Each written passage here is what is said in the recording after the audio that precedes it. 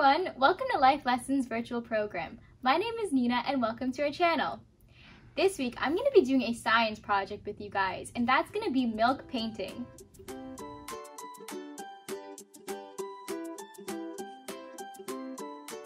So what you're going to need today is a plate and then some milk and then a cup of dish soap,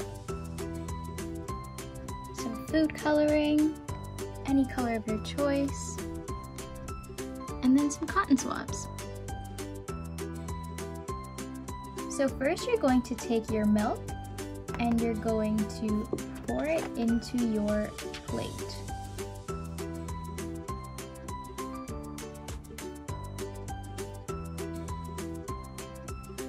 So now you're gonna take any food coloring that you want and you're just gonna drop it into your milk.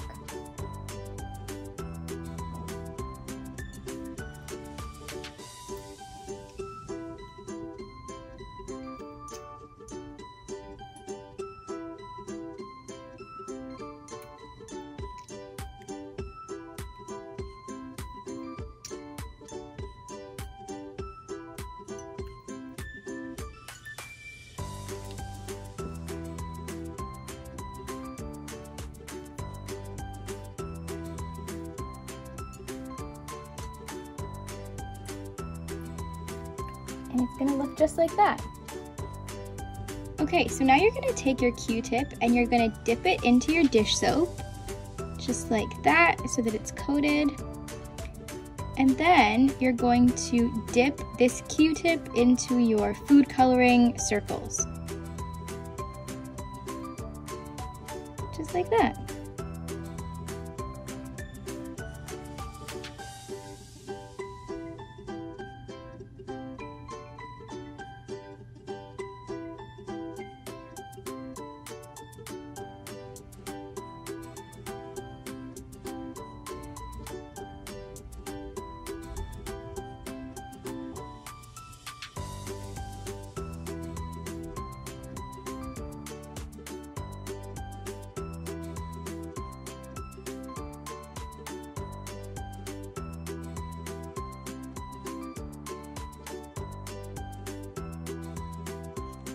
So when you pour out the milk, you're going to be left with a tie-dye looking pattern.